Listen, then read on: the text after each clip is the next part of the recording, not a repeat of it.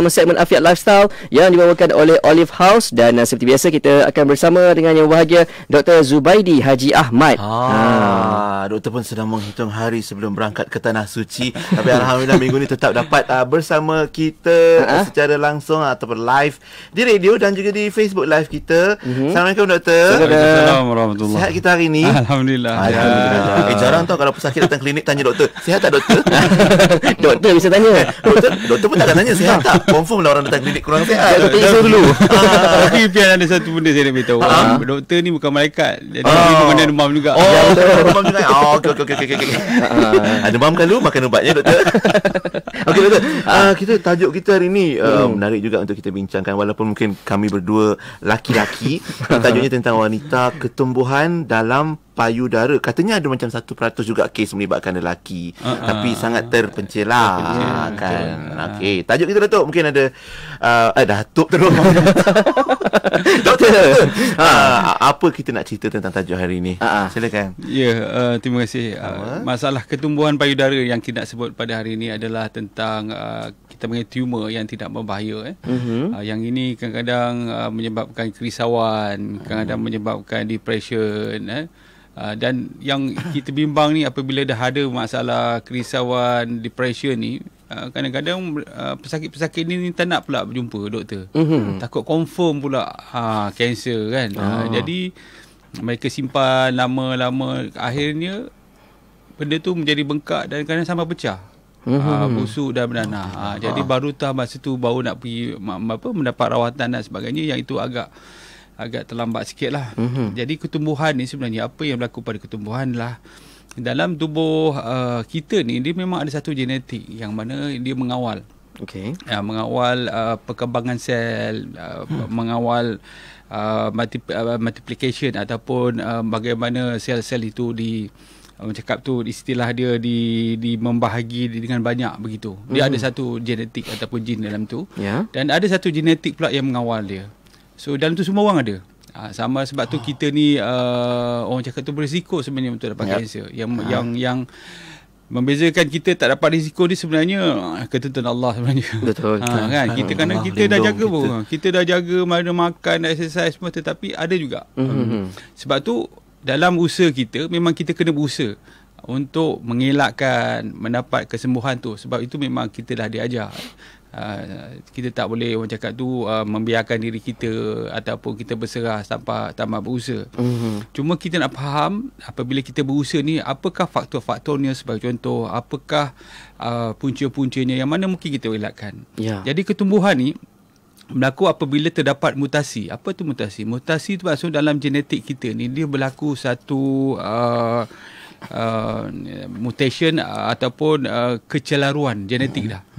Uh, patutnya disusun dengan baik tetapi disebabkan oleh faktor-faktor lain. Ya, yang ni yang selalu kadang kita sebut sebagai uh, inflammation uh, uh, di dalam tubuh kita disebabkan oleh faktor toksik, Okey. uh, faktor pemakanan, faktor environment, faktor genetik dan sebagainya. Hmm. Jadi perkara inilah yang akan menyebabkan berlakunya mutasi dan akhirnya sel-sel dalam tubuh kita dalam dalam konteks ini ialah sel-sel dalam payudara ni dia akan berkembang membahagi dengan banyak dan tidak terkawal. Ya. Ha, kalau setakat membagi dengan banyak tetapi masih lagi terkawal itu itu yang kita sebut sebagai dia tumor benign. Mhm. Ha, yang yang yang tidak berbahaya sangat. Tetapi kalau contohnya membahagi dengan cepat tanpa terkawal dalam masa yang terdekat saja dia telah terlalu banyak dan pergi ke bahagian-bahagian lain. Mhm. Ha, yang ini yang, yang disebut sebagai kanser. Ya. Ha, yang sangat berbahaya kerana dia terlalu cepat. Jadi perbezaan antara benign ataupun yang tidak berbahaya dengan kanser ni adalah waktu. Hmm. Ha, sebab tu orang yang ada masalah-masalah uh, sebagai contoh yang kita nak sebut ni antaranya ialah ketumbuhan eh terasa eh bila dia mandi sebenarnya wanita dia mandi dia terasa ada ada benda yang yang tak Ada tak ketelan. ha, ada ketelan ada rasa macam tak selesa di situ. Saya carikan buat pemeriksaan Okey. dengan seorang yang betul-betul faham. Mhm. Ha, jangan berjumpa pula dengan jiran kan bercerita dengan jiran. Ha, jiran ni kadang-kadang dia berbagai version dia. Ah, dia dah jadi berita pula. Dia sebar lah kan. Alamak. CNN.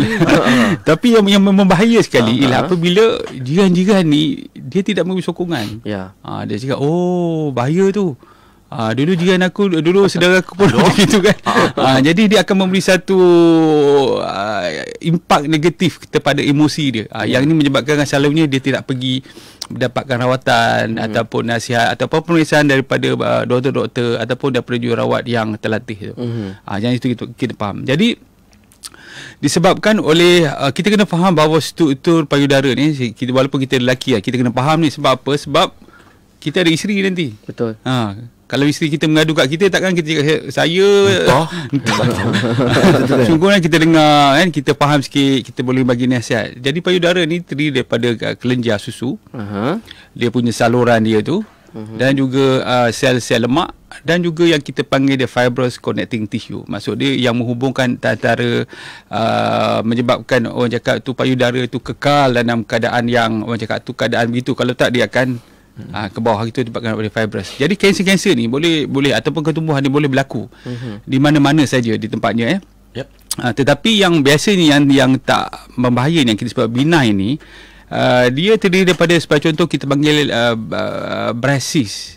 Breast cyst. Ha, selalunya daripada kelenjar daripada payudara tu sendiri, kelenjar susu tu sendiri. Uh-huh. Ha, dia membengkak, membengkak, membengkak dalam dia ada air saja selalunya. Ya. Ha, cuma yang bahaya kalau dalam tu ada darah. Yang itu kita bimbang mungkin dah berlakunya mutasi yang menyebabkan kanser. Tetapi selalunya kalau kata setakat air je tak ada tak tak ada masalah. Selalunya air susu lah. Uh-huh. Sebab tu bila menyusukan anak kadang-kadang eh dia bengkak semacam dia keras. Uh-huh. situ mungkin ada sis kat situ. Uh-huh. Sis ni kalau tidak di di di dirawat, maksudnya di di di, di dalam bahasa mudah dipecahkan uh-huh. selalu dengan cara uh, beri anak lebih banyak susu, uh-huh. uh, nanti dia akan mengecup balik. Akhirnya dia boleh menyebabkan bernanah. Uh-huh. Uh, yang nanah ni yang yang bahaya ni. Uh, sebab tu yang kadang-kadang tu terpaksa buat operation bagi uh-huh. antibiotik keluarkan nanah tu. Yang itu nanah dia terlambat. Yeah. Tetapi breast cyst ni selalunya selalu kecil. Kadang dia datang balik, dia hilang, datang uh-huh. balik, dia hilang terutama orang yang menyusukan anak. Uh-huh. Ha, jadi sebab tu kalau ada ada masalah tu cuba buat uh, pemeriksaan doktor eh uh-huh. untuk untuk mengelakkan benda lain. Dia bengkak tu doktor, bengkak yeah. yang jenis besar ke ataupun bengkak yang kecil-kecil tu?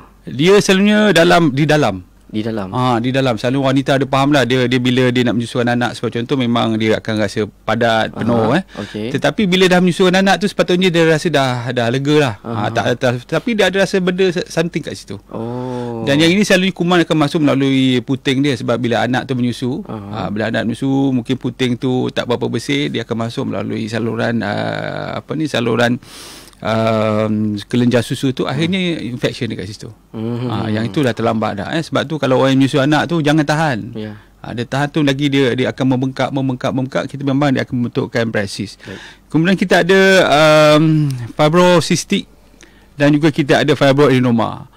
Yang membezakannya ialah kalau kita buat sound, ultrasound. Tapi kalau dari segi kita rasa dan sebagainya, dia tak ada beza dia ada ketulan saja mm-hmm. yang membezakan uh, fibroadenoma dengan fibrocystic ni adalah bila kita buat ultrasound sebagai contoh kita nampak dalam tu ada ada macam air lagi gelembung oh. gelem, uh, gelembungan air tu uh-huh. di samping keluar dia dia banyak fibrous dia banyak serat di situ tetapi kalau fibroadenoma dia dalam tu adalah uh, kita panggil dalam dia adalah dalam bentuk pepejal. Yeah. eh dia bukan air. Uh, yang itu selalunya kadang-kadang fibrocystic ni kadang-kadang bila datang head dia naik.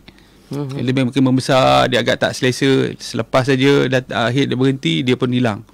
Tapi fibroadenoma berada di situ. Boleh sebelah boleh dua belah. Sebelah pun boleh satu boleh dua. Dan selagi ada uh, tisu-tisu payudara di situ uh-huh. selagi itulah dia dia akan ada kadang-kadang kita dah buat pembedahan eh, di masa saya bekerja di hospital dulu kerana kita buat pembedahan bila buat pembedahan tu kadang-kadang lepas 2-3 tahun datang semula ha, yang itu pun boleh berlaku Ha, sebab tu selagi kalau memang confirm fibroadenoma, selalunya kalau terlalu kecil kita tak buat apa. Kita tunggu besar sikit lebih mudah untuk di, dibuang uh-huh. dan kita bimbang pula dia akan datang semula. Yang selain itu kita ada lipoma. Lipoma ni adalah uh, kita panggil ketumbuhan daripada lemak je. Mm-hmm. Ha, yang ni tak tak membahaya. Yang lipoma pun berlaku pada selalunya di belakang, di belakang tubuh, badan lain, badan, eh? badan lain. Ha, selagi ada lemak, mm-hmm. memang ada berlaku. Eh. Okay. Dan juga berkaitan dengan payu, uh, payu apa, uh, nipple ni ataupun puting ni, dia ada satu kita panggil disease, uh, paget disease of the uh, breast. Yeah. Uh, maksud sebab tu bila kita tengok tu, uh, dia ada kelainan dekat situ. Maksud dia, dia dah bentuk dia dah tak tak berapa normal. Oh. Yang itu kemungkinan ada. Kita bimbang itu mungkin ketumbuhan yang yang berbahaya. Eh. Uh-huh. So tanda-tandanya adalah pertama sekali seorang wanita tu apabila dia mandi sebab tu kita mencadangkan supaya membuat pemeriksaan setiap hari. Paling mudah sekali apabila mandi tu kan bila mandi kita bersabun dan sebagainya itulah peluang kita untuk memeriksa. Mm-hmm. Eh memeriksa dengan uh, apabila kita payudara kita dia, dia dia biar di situ ataupun kita cuba stretchkan tangan kita angkat tangan kita payudara empat kuadran tu kita bagi kita bayangkan ada empat bagi pada empat sebelah kanan dalam sebelah kan uh, sorry sebelah dalam atas hmm. sebelah uh, atas luar hmm. sebelah dalam bawah sebelah luar luar bawah bawah ha. Ha, empat kuadran tu dan oh. juga puting di situ kemudian kita cek di mana dia ha, berapa besar hmm. ha, supaya sama ada selalunya biji kacang ni lah macam tu ha. ada yang ada yang, yang lebih besar daripada itu itu mungkin dah lama dan kita kena angkat tangan bila mandi tu angkat tangan cuba cari di bahagian ketiak ha, kemungkinan ada kelenjar di situ kelenjar kelenjar dah membengkak di situ itu sebab tu perubahan uh, pada payudara tu, ada ketumbuhan tu itu sangat satu signifikan. Hmm. Kalau oh. tak faham, datang buat pemeriksaan. Buat tahu. Ha, jangan buat tahu, hmm. simpan dan juga hmm. mendapat apa pandangan pada orang-orang yang tak faham ni jiran-jiran kita kan kan. Yang kita nak sebut tapi saya rasa jangan. Sebab ha. kadang-kadang tu kita tak expect dia punya mm, reply ataupun jawapan-jawapan tu yang mungkin akan lebih menggu, menggusarkan kita. Hati. Ha, menggusar hati kan kadang orang ni dia dia kadang mulut laser. Ah, kan. mulut laser kerana dia tak perasan mulut dia laser tapi mulut dia laser sangat sampai orang tu kena faham orang macam kan. ini dah sensitif sebenarnya. Ya betul. Ah, dah sensitif eh. Jadi kena kena jaga sebab tu kena buat pemeriksaan yang betul. Aha. Dan selanjutnya selain itu kita tengok pada perubahan pada kulit. Aha. Jadi yang yang ada beberapa ni pertama sekali adalah ada ketumbuhan tu uh-huh. sama ada dia membesar uh-huh. ataupun dia dah membesar sekejap, sekecut sekejap ataupun oh. dia semakin membesar. Ah, semakin membesar ni yang very significant. Selalunya kalau kanser 6 bulan dia akan terus membesar. Tetapi kalau ketumbuhan yang tak bahaya tu, dia akan ada perlahan-lahan. Kalau saya tanya dah berapa lama ni kak? Kata dia, ini dah 3 tahun doktor. Dulu kecil je macam telur apa, telur cicak. Sekarang ni dah macam kacang pula kata dia. Dia dapat boleh bezakan begitu. Eh. Tetapi ambil masa. Yang itu selalu tak tak tak berbahaya sangat. Ataupun, perubahan macam saya cakap tadi perubahan pada puting ya. ha, puting tu mungkin ada luka luka yang tak baik hmm. ataupun mungkin dah ada start keluar darah dan sebagainya dan di puting tu sini keluarkan cecair cecair sama ada susu macam susu hmm. darah ataupun nanah yang itu semua ada tanda-tanda yang tak baik eh? ha, hmm. ha, jadi benda ni lah tiga tu hmm. ada biji ada ketumbuhan hmm. lepas tu pada kulit kemudian pada puting ni sama ada puting tu dia mengeluarkan susu darah. Uh, berdarah ataupun nanah tu uh eh uh, jadi perubahan-perubahan pada itu ya okey okay. uh. uh, itu antara tanda-tanda dan perubahan-perubahan yang kita sendiri boleh buat pemeriksaan hmm. dan ketahui uh, perkembangannya hmm, mungkin yeah. tapi kalau kalau dah jumpa tu jangan buat tak tahu saja dapatkan mm-hmm. pemeriksaan daripada pakar. Mm-hmm. dan mungkin kejap lagi kita akan sambung lagi poin berikutnya. Jangan ke mana-mana. Hari ini kita cerita tentang ketumbuhan dalam payudara bersama Dr. Uh, Zubaidi Haji Ahmad. Hmm, pastinya untuk Afet Lifestyle yang ya. dibawakan ya. oleh Olive House. Berehat seketika kembali selepas ini terus setia bersama kami hanya di Warna Pagi. Inspirasi Islami. Anda pelajar lepasan SPM masih tercari-cari peluang melanjutkan pengajian dalam bidang haji dan umrah. Berita baik bersempena Festival Kesenian dan Kebudayaan Islam Antarabangsa Putrajaya pihak AMTC menjemput anda ke program talimat khas dan pendaftaran program Diploma Pengurusan Haji dan Umrah bertempat di Dewan Cempaka Sari, Presin 3 Putrajaya pada hari Sabtu 27 Julai 2019 jam 2 hingga 4 petang. Info lanjut hubungi 010-407-1700 atau layari www.academymutawif.my AMTC, solusi menuju Baitullah. Eh Mat, aku pening lah dengan pengiraan dan cara nak bayar zakat simpanan ni. Kau ada akaun bank muamalat? Kenapa pula bank muamalat? Bank muamalat baru je lancarkan isi zakat. Kalau kau dah ada akaun, pergi aktifkan aja. Isi zakat eh? Tapi macam mana kadar potongan? Sama je macam zakat biasa. 2.5% daripada simpanan tahunan kau. Potongannya secara automatik. Kewajipan kau sebagai orang Islam pun tertunai. Dapat rebat cukai pendapatan lagi. Info lanjut di muamalat.com.my atau hubungi 1300 888787. Tetap lo terma sentiasa bersama berkongsi info terkini. Pastinya di IKIM. Inspirasi Inforia Islami. Warna Pagi IKIM. Jom laksanakan ibadah korban serendah RM300 melalui Islamic Relief Malaysia ke 34 buah negara. Jangan lepaskan peluang sementara penyertaan masih dibuka. Hubungi 03-8926-3434 sekarang untuk maklumat lanjut. Fikir kemanusiaan, fikir Islamic Relief. Baik, terima kasih untuk anda yang masih lagi setia bersama kami di IKIM Inspirasi Info Dia Islami segmen Alfiat Lifestyle yang dibawakan oleh Olive House untuk episod ke-17 hari ini. Kita membicarakan mengenai uh, ketumbuhan dalam payudara bersama dengan yang bahagia Dr. Zubaidi Haji Ahmad. Aha, ha. dan tadi doktor dah cerita pengenalan apa tu buat pemeriksaan dan sekarang mungkin apa cara yang kita boleh cuba dan cegah dan hmm. elakkan uh, ketumbuhan-ketumbuhan khususnya hmm. dalam payudara. Hmm. Doktor. Ya, ketumbuhan ni macam saya cakap yang paling penting sekali ialah kita ketahui sama ada dia tidak berbahaya ataupun dia kanser yang membahaya. Hmm. Uh, sebab tu pemeriksaan dia penting. Ha, sebab kalau dia kanser, dia hanya mengambil masa yang agak singkat saja untuk dia menjadi lebih besar mm-hmm. ataupun dia pergi ke tempat lain yang kita sebut sebagai metastasis. Yeah. Singkat eh. Ha, rasa singkat dia boleh ha. pergi ke bawah ketiak, dia boleh pergi ke paru-paru, dia boleh ha. pergi ke ha. hati, mm-hmm. ke otak dan sebagainya. Mm-hmm. Sebab tu kena bezakan. Saya dulu ada seorang patient saya saya masih ingat lagi um, sebab kebanyakan yang pada ini ni cerita lebih kurang uh, 20 tahun yang lepas eh yeah. macam mana saya bekerja di hospital saya lihat bahawa kebanyakannya mereka yang berada di kawasan yang luar bandar uh, di kawasan-kawasan Felda yang jauh-jauh pada masa itu mungkin pusat kesihatan tak apa-apa tak apa-apa orang cakap tu tak berapa banyak. Uh-huh. Jadi bila mereka ada masalah ni tu mungkin bila orang akan berjumpa dengan dengan dengan bomo. Ya. Yeah. dengan orang jiran-jiran uh-huh. tanya macam mana eh. Dan selalu jiran cakap okey um, jangan risau cuba cuba ni, cuba tu. Hmm. Uh, lepas uh, beberapa uh lama dia makin besar dia kata okey tak apa cuba lagi. Dan akhirnya sebab tu penilaian itu paling penting pemeriksaan itu penting uh-huh. kalau katakan contoh dia tak membayar okey tapi kalau yang membayar kanser ha, itu kena buat pemeriksaan cepat uh-huh. ha. jadi kadang-kadang tu itulah kita nak nak beri awareness ni ha. uh-huh. betul ha, sebab tu awareness paling penting kalau dah ada buat pemeriksaan. Kalau belum ada, ha, risiko tinggi. Siapa yang berisiko tinggi? Antaranya sebagai contoh, makcik ada, mak ada, kakak adik perempuan pun ada. Eh? Ha, yang itu yang berisiko tinggi. Disebabkan faktor keturunan, genetik. Itu yang pertama. Yang kedua adalah mereka yang sebagai contoh mempunyai uh, datang datang head awal. Datang head awal. Lepas tu dia tidak menyusukan anak. Itu pun juga merupakan faktor risiko sebab uh, payudara itu berfungsi untuk menyusukan anak.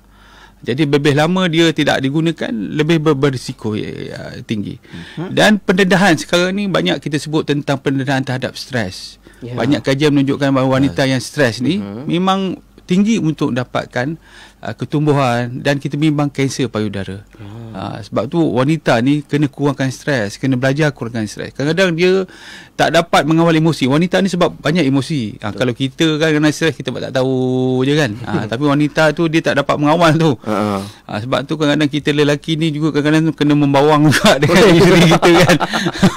Macam mana nak mulakan membawang tu? Aku tahu. Kau tahu. Kalau saya saya gini je, saya duduk kan balik rumah kan. Lepas makan ke tengah makan kita cakap ah okey ah, apa cerita dekat dekat department? Uh ah ada ada barang-barang barang yang tak tak ada ke apa kan? Jadi uh ni ceritalah kita cerita bukan cerita orang tau uh tetapi cerita suasana. Masalah yalah masalah barang tak cukup sebab contoh eh kalau di hospital hmm. ataupun masalah pesakit yang hmm. dan sebagainya dia akan membantu melegakan. Kita minta dikongsi lah. minta kongsi uh dan kita lelaki ni jangan cuba nak menjawab Oh. Yeah. Ha, sikit je benda jawab kan. Ha, kita paling tak sih nak menjawab je. Jadilah pendengar yang pendengar. pendengar tu jangan kita kita ni kita jangan kita dengar je kita kena sikit lah ya yeah, okey. Ah, ah betul betul betul betul. Ah. kalau tak dengar dia tidur. Bang dengar tak bang? Dengar dia tidur pula. Eh. ni tidur rumah tangga tu. Jadi stres tu paling penting. Ha. dan dia, yang lainnya adalah chemical. Yeah. so wanita yang berada di, di bekerja di kawasan yang kawasan kilang yang berasaskan chemical eh, itu yang paling bahaya sekali. Ataupun mereka duduk di kawasan yang mana di kawasan tu penuh dengan kilang-kilang yang banyak chemical. Mm-hmm. ah, yang itu pun ada faktor yang lain. Dan juga kemungkinan kemungkinan apabila kita keluar eh, bila kita memandu dan sebagainya uh, benzin yang batu daripada kereta kita kita mengepam minyak dalam uh-huh. kita uh-huh. ataupun asap kereta itu pun dah sendiri dah kita panggil carcinogen yang boleh menyebabkan kanser dan juga uh, penggunaan uh, banyak-banyak produk. Jadi antara yang yang bagi mereka yang bersih tinggi ni jangan pemakanan paling penting. Antaranya cari makanan-makanan yang bernutrisi untuk merawat diri kita, untuk me, me, tu uh, menghalang diri kita dari mendapat kanser. Antaranya ialah healthy fat yang kita sebut minyak zaitun, uh, b- avocado, kekacang, eh. banyak kurangkan benda makanan-makanan berproses, sebab makan proses banyak chemical. Ambil makanan-makanan segar, sayur-sayuran, buah-buahan.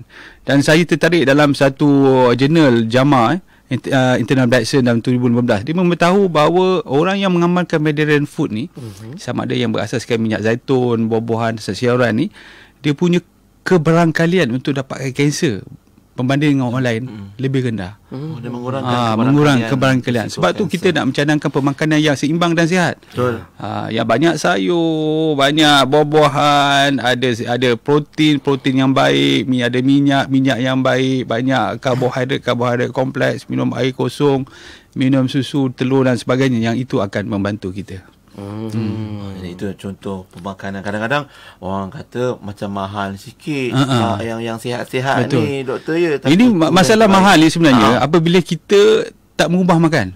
Ha. Ha, itu problem kita masih kekal makanan lama. Kan? Bila kita tambah makanan yang baru, Kita rasa ah, mahal. Dia akan mahal. Tetapi bila kita dah ubah, sebagai contoh macam kita, sebenarnya saya sendiri kan. Ha. Saya pun dah jarang sebagai contoh makan-makan processed food. Eh. Kita pun dah tak pergi makanan segera. Kita air gas kita dah kurang. Ya. Ah, gula pun kita tak ambil. Jadi banyak duit yang dah save tu sebenarnya. Ha. Jadi kita ambil, kita gantikan dengan benda-benda yang yang sepatutnya kita ambil, kita tak ambil. Ha. Jadi itu menyebabkan kerana setengah orang. Kerana saya bincang juga dengan kawan saya yang pakar, pakar nutrition ni. Dia kata me- makanan makanan sihat ni makanan mahal. Tapi kalau kita lihat sebenarnya sebenarnya dia tak mahal sangat sebenarnya. Ha, kalau kita tengok betul-betul. Contoh kalau kita menjaga makan, selalu hari kita makan satu hari tiga kali. Dulu saya makan sampai lima enam kali sehari. Yeah. Ha, tapi sekarang maksimum satu hari tiga kali je. Tiga kali dah ada banyak save sebenarnya. Kan? Ha, dah banyak save. Sekali makan pun sekarang RM5 sama ada breakfast ke dan sebagainya RM5. Jadi dia dah kurang. Jadi kita boleh gunakan duit tu untuk beli benda-benda yang bernutrisi. Sebab tu kalau tengok orang lain eh, orang lain dia partikular tentang makan ni. Hmm. Dah bekerja kuat daripada pagi, petang, malam. Bila makan, bak makan ni memang dia akan cari benda-benda yang bernutrisi walaupun mahal. Ha, ni bukan orang kita lah. Ha, orang lain. ha, orang lain. Memang betul. Kalau macam ikan, kita paling ikan pun dah tinggal apa dah busuk-busuk kan. Tapi dia orang akan mencari ikan yang mahal, yang yang berhasiat dan sebagainya. Sebab ini adalah sebahagian daripada cara mereka untuk merawat balik diri mereka. Sebab tu kita kena kena kena berhati. Sebab tu jangan jangan orang cakap tu menambah tetapi kita ubah cara pemakanan kita dia akan membantu. Kita Ha. ubah jangan menambah. Menarik itu uh, Kita punya kata-kata hikmah hari ini. Dan uh, untuk hari ini terima kasih Banyak-banyak Dr. Zubaidi Untuk ingatan dan perkongsian Afiat Lifestyle Yang dibawakan oleh Olive House. Uh, Tajuknya Ketumbuhan dalam payudara. Jangan lupa ikuti segmen minggu depan pula. Ada banyak lagi yang akan kita bawakan bersama Dr. Zubaidi Ya betul. Kalau kata anda terlepas poin-poin penting, jangan lupa uh, apa ikuti saja di Ha. Facebook kami, Facebook IKIM FM, okey? InsyaAllah. Terima kasih doktor. Assalamualaikum. Assalamualaikum warahmatullahi Alhamdulillah itu dia perkongsian kita pagi ini Untuk Afiat Lifestyle. Terima kasih Olive House Dan juga uh, dah sampai ke penghujung mana pagi dah. Ya betul. Dan selepas ini kita akan bersama dengan Nur Hati Paradi untuk